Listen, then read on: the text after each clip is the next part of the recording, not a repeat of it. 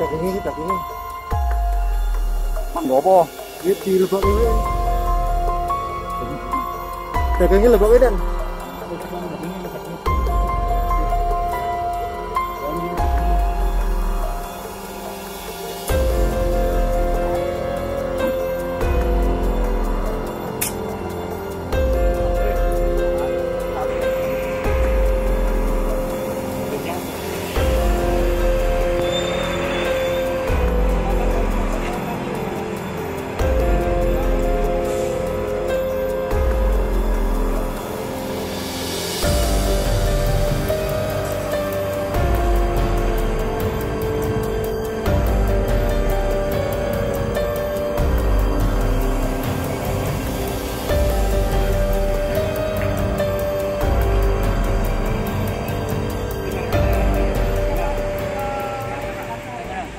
teman saya dikabarin aja. Terus kan eh, ada kecelakaan gitu kan teman. Kebetulan kan keluarga besar. Jadi mau melayat ke adiknya ya. Oh, mau melayat eh ke ke kakaknya. Kakaknya kan meninggal.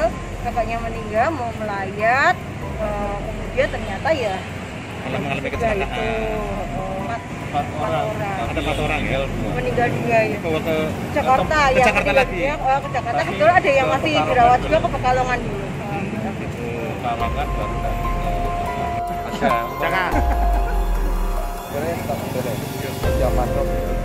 Laka mobil Innova dengan tronton.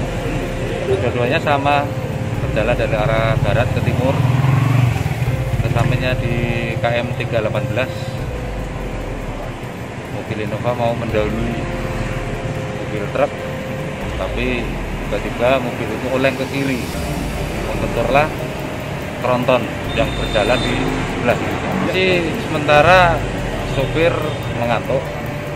Kemudian kalau dilihat dari mobil Innova karena rusak berat, indikasinya kecepatannya melebihi batas kecepatan yang ditentukan di tol. Nah, beberapa kali lah jadi di KM 318. Untuk kondisi jalan sebenarnya layak, bagus, terus tidak bergelombang, rambu-rambu juga jelas, marka juga jelas. Hmm, tapi justru sering terjadi kecelakaan. Nah, Kira-kira penyebabnya apa, Dan?